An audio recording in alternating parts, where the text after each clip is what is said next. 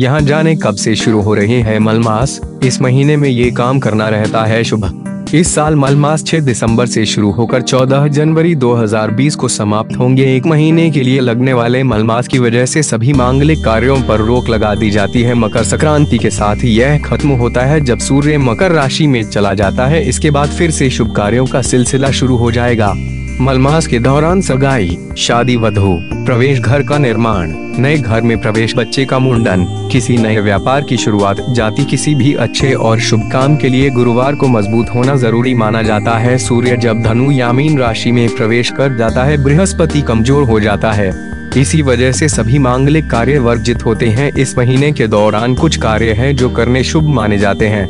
इस महीने में दान, ध्यान आदि करना चाहिए। इस दौरान जब तीर्थ यात्रा करने का विशेष महत्व बताया गया। अधिक मास में भगवत कथा पढ़ना, दान पुण्य को काम करने से शुभ फल की प्राप्ति होती है।